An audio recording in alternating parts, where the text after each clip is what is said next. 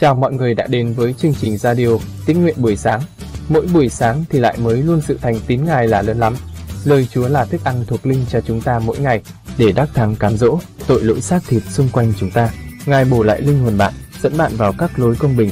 Vì cớ danh Ngài, Chúa thêm sức mới cho bạn. Chúa thêm lên cho bạn đức tin. Mỗi ngày càng gần Chúa và giống Chúa hơn và có mối quan hệ mật thiết với Chúa mỗi ngày. Chúa yêu bạn rất nhiều. Chương 15 Cách ít lâu, Absalom sắm xe và ngựa với 50 quân chạy trước mặt mình. Absalom dậy sớm, đứng nơi mé đường vào cửa thành. Nếu gặp ai có sự kiện thưa chi đi đến vua đặng cầu xét đoán, thì Absalom gọi người ấy hỏi rằng, người ở thành nào? Nếu họ đáp, tôi tớ ông thuộc về chi phái kia của Israel, thì Absalom tiếp rằng, sự tình của ngươi thật phải và công bình, nhưng nơi đền vua nào có ai để nghe ngươi đâu. Đoạn, Absalom tiếp rằng, Ồ, chớ chi người ta lập ta làm quan xét trong xứ. Phàm người nào có việc tranh tụng hay kiện cáo gì cần đoán xét, sẽ đến ta, thì ta sẽ xử đoán công bình cho họ. Nếu có ai đến gần đặng lại người, Absalom giơ tay ra, đỡ lấy người và hôn. Absalom làm như vậy đối cùng hết thảy những người Israel đi đến tìm vua, đặng cầu đoán xét, và Absalom dụ lấy lòng người Israel vậy. Cuối 4 năm, Absalom nói cùng vua rằng, Xin cho phép con đi đến Hebron, đặng trả xong sự hứa nguyện mà tôi đã khấn với Đức Giê-hô-va. Vì lúc tôi tớ vua ở tại Gesura trong Syria có khấn lời nguyện này. Nếu Đức Giê-hô-va dẫn tôi về Jerusalem thì tôi sẽ thờ phượng Đức Giê-hô-va. Vua đáp cùng người rằng, hãy đi bình an. Vậy người trỗi dậy và đi đến Hebron. Absalom sai những kẻ do thám rao lệnh này khắp trong các chi phái Israel rằng Thoạt khi anh em nghe tiếng kèn thì hãy nói Absalom làm vua tại Hebron. Có 200 người ở Jerusalem mà Absalom đã mời đều đi với người cách thật thà, chẳng nghi ngại chi hết. Đang lúc Absalom dân của lễ, bèn sai mời Ahitophe là mưu sĩ của David ở Gilo, bản thành người. Sự phản nghịch trở nên mạnh và đoàn dân đi theo Absalom càng ngày càng đông. Có người đến báo tin cho David rằng lòng của dân Israel nghiêng về Absalom. David bèn nói cùng các tôi tớ ở với mình tại Jerusalem rằng hãy trỗi dậy và chạy trốn đi, bằng chẳng chúng ta không thể thoát khỏi Absalom được. Hãy đi mau mau, e nó sẽ đến kịp chúng ta làm hại cho chúng ta và dùng gươm diệt thành. Các tôi tớ của vua thưa rằng, phàm việc gì vua chúa chúng tôi nhất định, thì các tôi tớ vua sẽ sẵn làm theo. Vậy vua ra đi, có cả nhà người cùng theo, nhưng vua để lại 10 người cung phi đặng giữ đền. Thế thì vua đi ra, có cả dân sự theo sau. Chúng dừng lại tại nhà ở cuối chót thành. Hết thảy tôi tớ của vua và cả người Kerethit, người Phelethit đều đi ở bên vua, còn người ghi tít, số 600 người ở gác đến theo vua, đều đi đằng trước. Vua bèn nói cùng Y Tai, người ghi tít, rằng, Cớ sao ngươi cũng muốn đến cùng chúng ta? Hãy trở lại ở với vua, bởi vì ngươi là một người ngoại bang đã lìa xứ của ngươi. Ngươi mới đến hôm qua, và hôm nay ta há sẽ cho ngươi lạc loài đây đó với chúng ta sao? Còn ta, ta đi đâu không rõ, Vậy hãy trở về và dẫn các anh em ngươi theo ngươi, nguyện sự thương xót và sự thành tín ở cùng ngươi. Nhưng Y Tai thưa cùng vua rằng, tôi chỉ Đức Giê-hô-va hằng sống và chỉ mạng sống của vua chúa tôi mà thề. Hễ vua chúa tôi ở đâu, hoặc trong sự chết, hoặc trong sự sống, thì kẻ tôi tớ vua cũng sẽ ở đó. Vua David bèn nói với Y Tai rằng, vậy hãy đến đi trước. Thế thì Y Tai người ghi tít cùng hết thảy con trẻ theo mình và cả bọn người đều đi tới trước. Hết thảy dân trong xứ đều khóc và la lớn tiếng lên trong khi cả đám đông này đi qua. Vua qua khe Sết-rôn và cả dân sự đều xơm tới trên con đường về đồng vắng. Ở đó cũng có Sa đốc và hết thảy người Lê-vi khiêng hòm giao ước của Đức Chúa Trời. Họ để hòm của Đức Chúa Trời xuống đất, rồi Abiathar đi lên trước cho đến khi hết thảy dân sự đã ra khỏi thành xong rồi. Vua bèn nói cùng Sa đốc rằng, hãy thỉnh hòm của Đức Chúa Trời vào trong thành. Nếu ta được ơn trước mặt Đức Giê-hô-va, ắt Ngài sẽ đem ta về, cho ta thấy lại hòm giao ước và nơi ngự của Ngài. Nhưng nếu Ngài phán như vậy, ta không ưa thích ngươi, thế thì nguyện Ngài xử ta theo ý Ngài lấy làm tốt. Vua lại nói cùng thầy tế lễ Sa đốc rằng, Này nghe, hãy trở về thành bình an với Abitha, Ahimac và Jonathan là hai con trai ngươi. Còn ta, ta sẽ đợi tại trong đồng bằng của sa mạc cho đến khi có kẻ bởi các ngươi đem tin báo cho ta.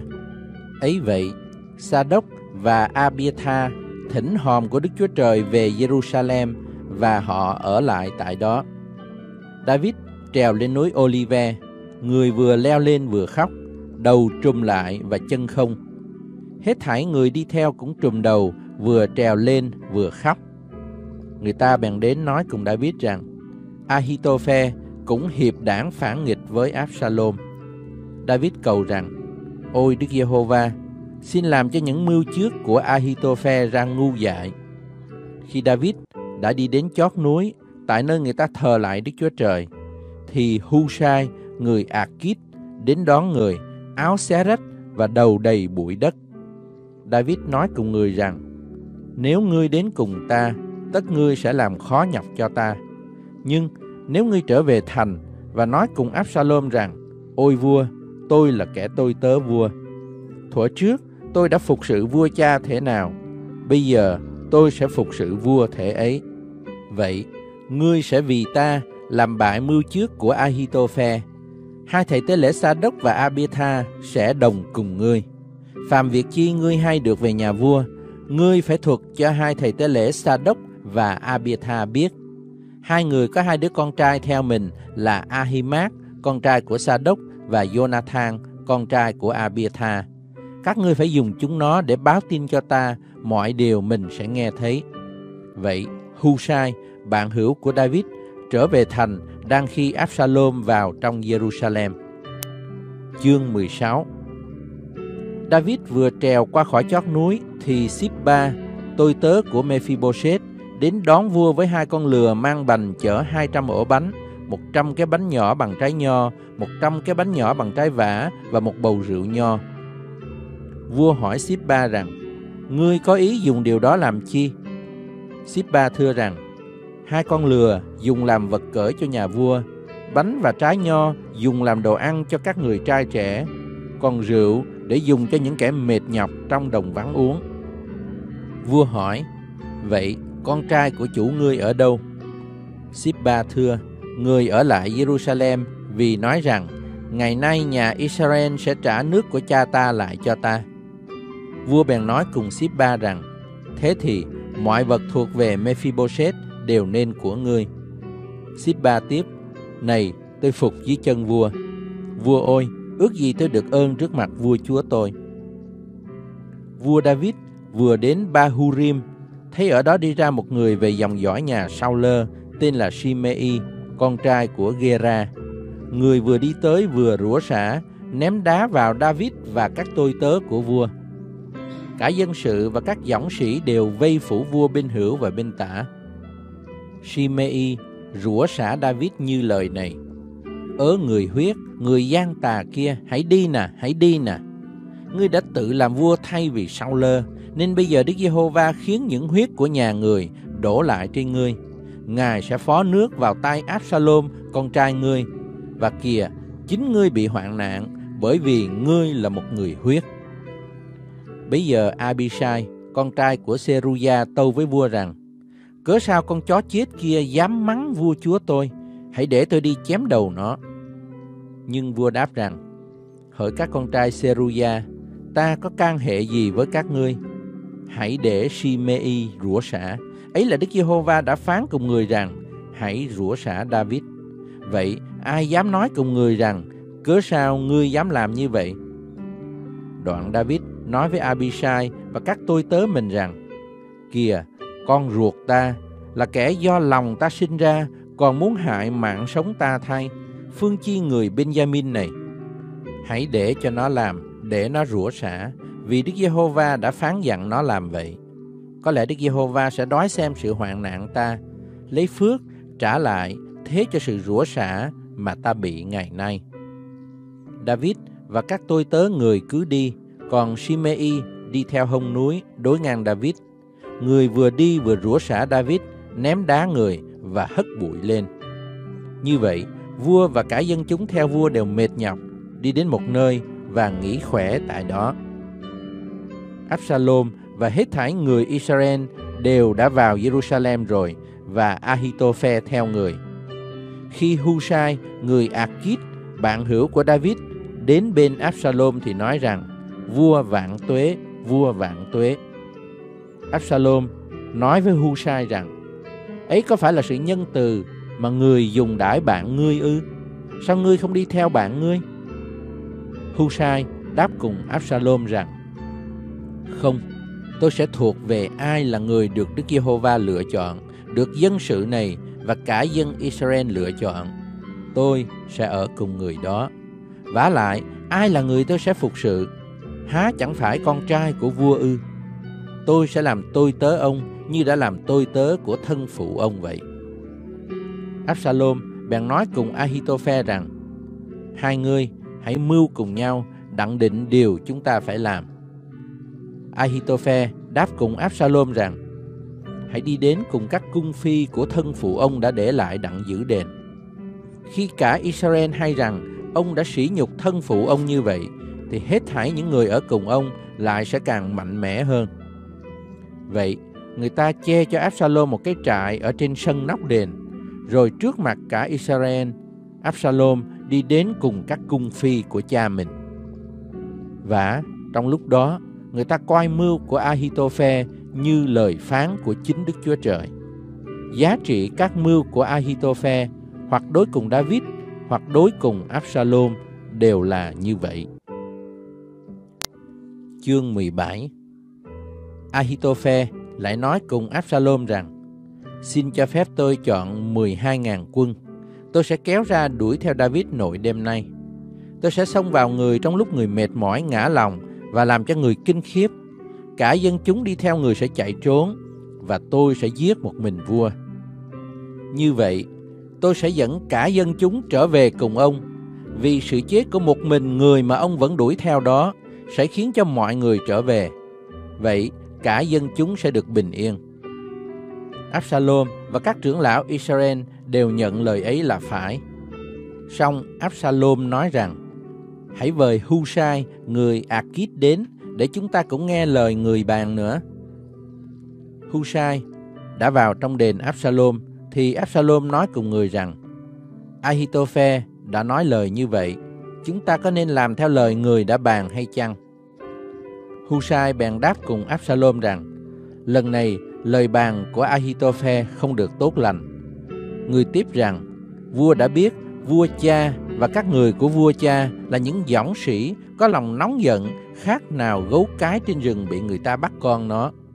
Lại nữa, vua cha là một người thạo việc chiến trận, chắc chẳng ở đêm cùng đạo binh đâu. Quả lúc này, người ẩn trong một hang hố nào hay là trong chỗ nào khác. Nếu khởi tiên, chúng ta bị thua, hết thảy những kẻ nghe sẽ nói rằng phe của Absalom đã bị thua. Bây giờ, kẻ mạnh bạo hơn hết, dầu có lòng như sư tử, cũng phải nát gan, vì cả Israel biết rằng vua cha là một tay anh hùng và những kẻ theo người đều là can đảm.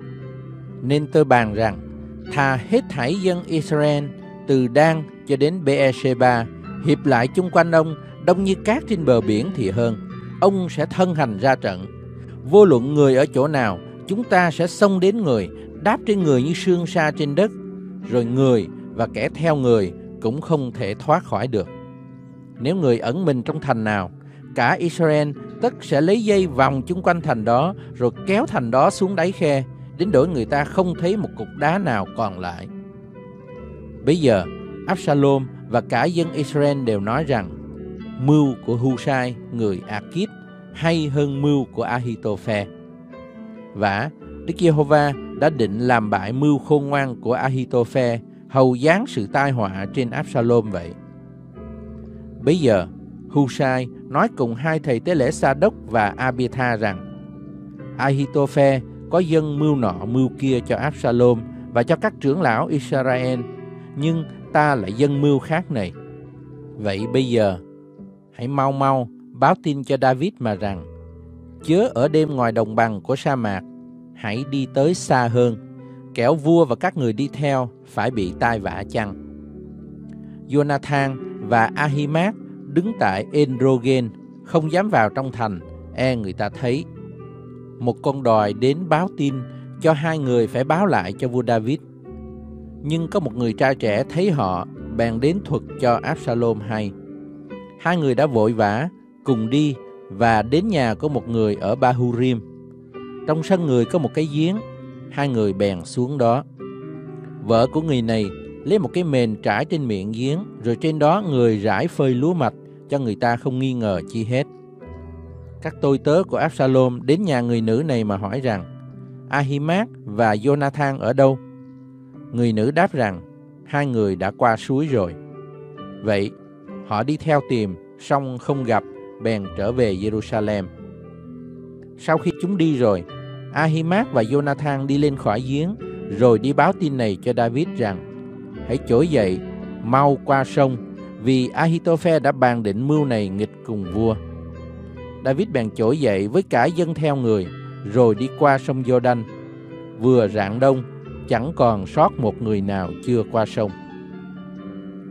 Ahitophe thấy người ta không theo mưu của mình, bèn thắng lừa trở về thành mình và vào trong nhà người. Sau khi người đã sắp đặt việc mình rồi, thì tự thắt cổ mà chết. Người ta chôn người trong mộ của cha người.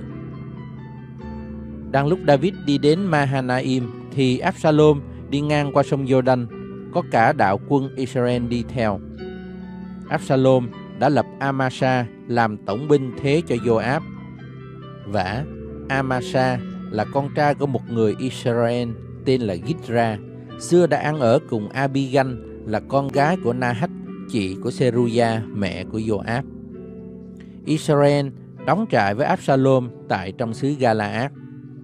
Khi David đã đến Mahanaim, thì Shobi, con trai Nahat, quê ở Rabba là thành của dân Ammon, với Maki, con trai Amien ở thành Lodeba và Basilai người Galaad ở thành Rogelim đều đem cho David và cho cả dân theo người những giường, chén, chậu đất, lúa mì, lúa mạch, bột mì, hột rang, đậu, phạn đậu và các thứ hột rang khác, mật ong, mỡ sữa, con chiên và bánh sữa bò đặng cho David và đạo quân người ăn vì chúng nói rằng dân sự đã đói khát và mệt nhọc trong đồng vắng.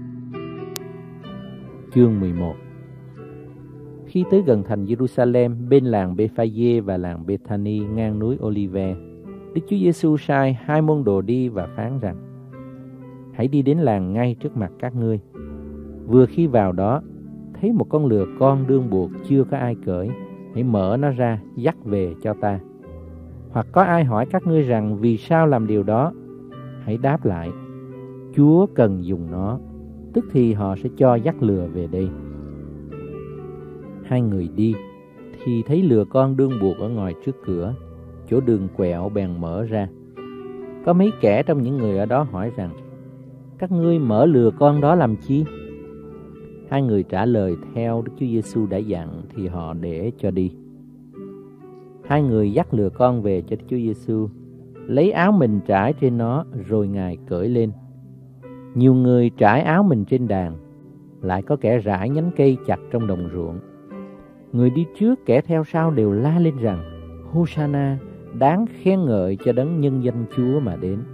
Phước cho nước đến là nước vua David tổ phụ chúng ta. Hosanna ở trên nơi rất cao. Đức Chúa Giêsu vào thành Jerusalem, đến nơi đền thờ. Đoạn liếc mắt xem mọi sự chung quanh, thì trời đã tối. Ngài bèn ra đặng đi tới làng Bethany với 12 sứ đồ. Sáng ngày, khi đã lìa làng Bethany rồi thì Ngài đói. Vừa thấy đằng xa một cây vả có lá, Ngài đến đó xem hoặc có chi chăng. Xong tới gần rồi chỉ thấy có lá mà thôi, vì bây giờ không phải mùa vả. Ngài bèn cất tiếng phán cùng cây vả rằng Chẳng hề có ai ăn trái của mày nữa Các môn đồ đều nghe lời ấy. Đoạn đến thành Jerusalem, Đức Chúa Giêsu vào đền thờ, đuổi những kẻ buôn bán ở đó, lại lật đổ bàn những người đổi bạc và ghế những kẻ bán bột câu. Ngài cấm không cho ai được đem đồ gì đi ngang qua đền thờ. Rồi Ngài dạy dỗ chúng mà rằng, Há chẳng có lời chép nhà ta sẽ gọi là nhà cầu nguyện của muôn dân hay sao? Nhưng các ngươi đã làm thành cái hang trộm cướp. Các thầy tế lễ cả và các thầy thông giáo nghe mấy lời bèn kiếm cách diệt Ngài vì họ sợ Ngài. Tại cả đoàn dân cảm động sự dạy dỗ của Ngài lắm. Đến chiều, Ngài và môn đồ ra khỏi thành. Sáng hôm sau, khi đi ngang qua thấy cây vả đã khô cho tới rễ, Bây giờ Phi-rơ nhớ lại chuyện đã qua thưa cùng Ngài rằng Thầy, coi kìa, cây vả thầy đã rủa nay khô đi rồi. Đức Chúa Giêsu cất tiếng phán rằng Hãy có đức tin đến Đức Chúa Trời. Quả thật, ta nói cùng các ngươi, ai sẽ biểu hòn núi này rằng phải cất mình lên và quăng xuống biển? Nếu người chẳng nghi ngại trong lòng, nhưng tin chắc lời mình nói sẽ ứng nghiệm, thì điều đó sẽ thành cho. Bởi vậy ta nói cùng các ngươi, mọi điều các ngươi xin trong lúc cầu nguyện, hãy tin đã được, tất điều đó sẽ ban cho các ngươi. Khi các ngươi đứng cầu nguyện, nếu có sự gì bất bình cùng ai, thì hãy tha thứ để cha các ngươi ở trên trời cũng tha lỗi cho các ngươi. Chúa và môn đồ trở lại thành Jerusalem. Ngài đang đi dạo trong đền thờ thì các thầy tế lễ cả, các thầy thông giáo và các trưởng lão tới gần Ngài mà hỏi rằng thầy lấy quyền phép nào làm những điều này hoặc ai đã cho thầy quyền phép làm những điều ấy đức chúa giêsu phán rằng ta cũng hỏi các ngươi một câu hãy trả lời cho ta thì ta sẽ nói cho các ngươi biết ta làm những điều đó bởi quyền phép nào. Phép báp tim của dân đến bởi trên trời hay là bởi người ta?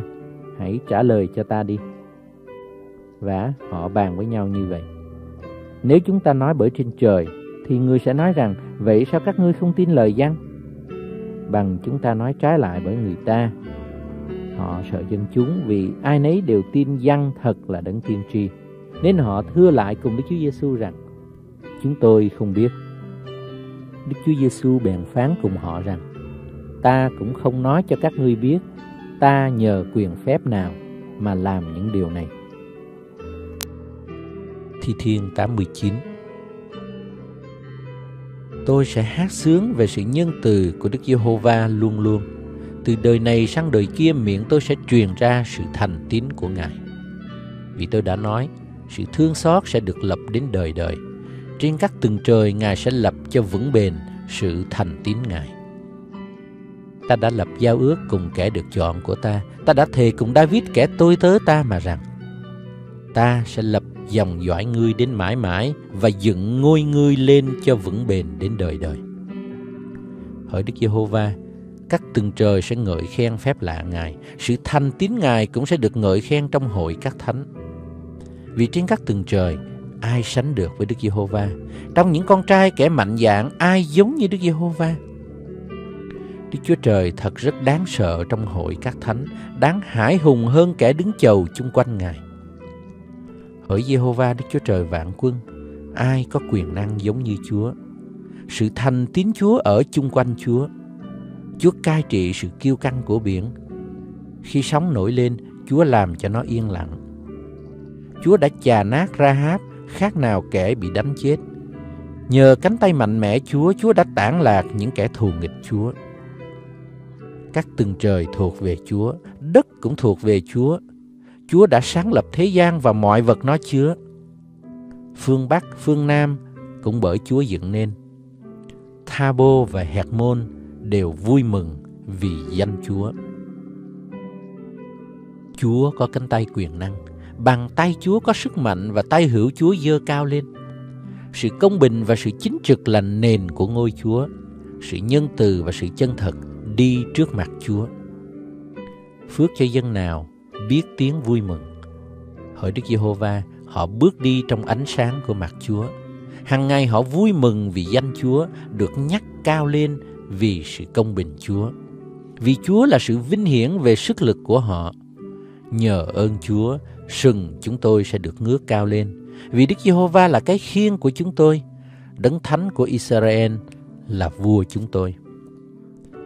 Bây giờ, trong dị tượng, Chúa có phán cùng người thánh của Chúa mà rằng, ta đã đặt một người mạnh dạn làm kẻ tiếp trợ, nhắc cao lên một đấng lựa chọn từ trong dân sự.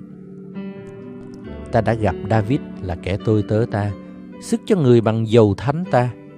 Tay ta sẽ nâng đỡ người, cánh tay ta sẽ làm cho người mạnh mẽ.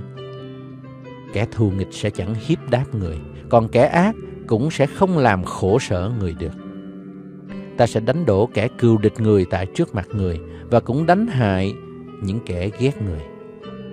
Song sự thành tín và sự nhân từ ta sẽ ở cùng người. Nhân danh ta, sừng người sẽ được ngước lên. Ta cũng sẽ đặt tay người trên biển và tay hữu người trên các sóng.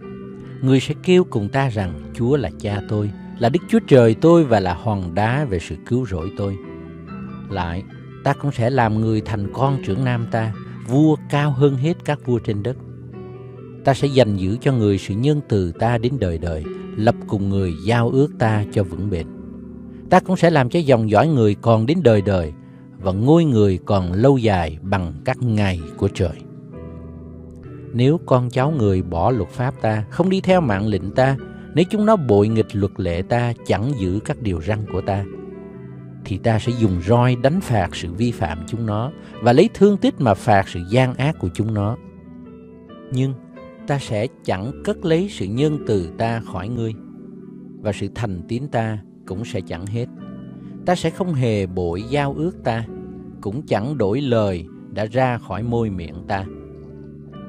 Ta đã chỉ sự thánh ta mà thề một lần, cũng sẽ không hề nói dối với David. Dòng dõi người sẽ còn đến đời đời, và ngôi người sẽ còn lâu như mặt trời ở trước mặt ta. Ngôi ấy sẽ được lập vững bền mãi mãi như mặt trăng, như đấng chứng thành tín tại trên trời vậy. Song Chúa lại từ bỏ khinh bỉ người, nổi giận cùng đấng chịu sức dầu của Chúa. Chúa đã gớm ghê giao ước kẻ tôi tớ Chúa và quăng mão triều người xuống bụi đất mà làm nó ra phàm. Chúa đã đánh đổ các rào người, phá những đồn lũy người ra tan nát. Hết thảy kẻ nào đi qua cướp giật người, người đã trở nên sự sỉ nhục cho kẻ lân cận mình. Chúa đã nhắc tay cừu địch người cao lên, làm cho những kẻ thù nghịch người vui vẻ.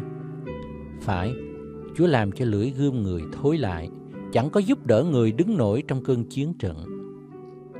Chúa đã làm cho sự rực rỡ người mất đi, ném ngôi người xuống đất, khiến các ngày đương thì người ra vắng và bao phủ người bằng sự sỉ nhục. Đức Giê-hô-va ơi, Ngài sẽ ẩn mình hoài cho đến chừng nào? Cơn giận Ngài sẽ cháy như lửa cho đến bao giờ? Ôi Chúa, xin nhớ lại thì giờ tôi ngắn giường nào. Chúa dựng nên con loài người hư không giường bao. Ai là người sống mà sẽ chẳng thấy sự chết? Ai sẽ cứu linh hồn mình khỏi quyền âm phủ? Hỡi Chúa, sự nhân từ xưa mà Chúa trong sự thành tín mình đã thề cùng David bây giờ ở đâu? Chúa ơi, xin nhớ lại sự sỉ nhục của các tôi tớ Chúa. Tôi mang trong lòng tôi sự sỉ nhục của các dân lớn. Hỡi Đức Giê-hô-va, tức là sự sỉ nhục mà những kẻ thù nghịch Chúa đã dùng để sỉ nhục các bước đấng chịu sức dầu của Chúa. Đáng ngợi khen Đức Giê-hô-va đến đời đời. Amen. Amen. Cảm ơn Chúa lời của Ngài bày tỏ cho con. Thì giờ này chúng ta đến với Chúa trong sự cầu nguyện. Xin Thánh Linh Chúa, hãy bày tỏ cho con biết, Ngài dạy dỗ hay ấn chứng cho con điều gì qua lời của Ngài. Xin lời của Ngài được linh hồn con ăn nuốt vào trong tấm lòng và tâm trí của con mỗi ngày thêm lên lời của Ngài, để linh hồn con được tăng trưởng, thêm lên đức tin đặt để nơi Ngài. Xin Chúa cho con biết về Ngài nhiều hơn và con khát khao mối quan hệ mật thiết với Ngài nhiều hơn. Lạy Chúa con cảm ơn Ngài, mỗi ngày mới Ngài ban cho con hơi thở để tiếp tục sống trên đất này. Con nguyện huyết báo của Chúa Giêsu Christ thanh tẩy, tẩy sạch, bôi xóa những suy nghĩ, tư tưởng, hành động trong tâm trí, trong tấm lòng của con như ấy là gian dâm, ô uế, lung tuồng, thờ hình tượng, phù phép, thù oán, tranh đấu, ghen ghét, buồn, giận, cãi lẫy, bất bình, bè đảng, ganh gổ, say sưa, mê ăn uống, cùng các sự khác giống như vậy con nguyện xin dòng huyết báo của Ngài tẩy sạch bôi xóa sự xác thịt của con không đẹp lòng Ngài ra khỏi con ngay giờ này. Bây giờ con được thánh sạch đứng trước mặt Ngài. Chúa ơi xin hãy cáo trách và thanh tẩy khi môi miệng con nói điều dơ giấy không đẹp lòng Ngài. Xin Chúa hãy thêm sức và hướng dẫn con ăn, hoặc uống, hay là làm sự chi khác, hãy vì sự vinh hiển Đức Chúa Trời mà làm. Xin Chúa thêm lên cho con đức tin để mỗi ngày con trong cậy nơi Chúa càng hơn. Xin Chúa thêm lên sự sức giàu trên con để con bày tỏ danh của Ngài trên chính đời sống hàng ngày của con. Để con như muối của đất, ánh sáng của thế gian. Con nguyện Thánh Linh Đức Chúa Trời đổ đầy, đầy dẫy con Chúa ơi, những bông trái của Thánh Linh, ấy là lòng yêu thương, sự vui mừng, bình an nhịn nhục, nhân từ, hiền lành, trung tín, mềm mại, tiết độ đầy dẫy trên con. Con xin Chúa thêm sức mới, thêm đức tin cho con. Xin Chúa dẫn dắt con để con đắc thắng một ngày mới trong ngày. Con cảm ơn Chúa, con dâng mọi vinh hiển tôn quý lên ba ngôi Đức Chúa Trời toàn năng và phước hạnh con nhận lãnh từ nơi Ngài. Và con thành kính dâng lên cha lời cầu nguyện trong danh Chúa Giêsu Christ. Amen. Cảm ơn bạn đã lắng nghe. Xin Thánh Linh Chúa cho sứ điệp này để khích lệ thêm động lực bạn bước đi với Chúa mỗi ngày. Mọi đóng góp ý kiến hay góp phần dâng hiến cho chương trình, xin gửi về gmail dưỡng linh cơ đốc 2020 a gmail.com. Bạn ủng hộ chương trình bằng cách chia sẻ chương trình rộng rãi trên mạng Internet, cộng đồng xã hội. Hẹn bạn dưỡng linh hàng ngày tiếp theo. Chúa yêu bạn rất nhiều.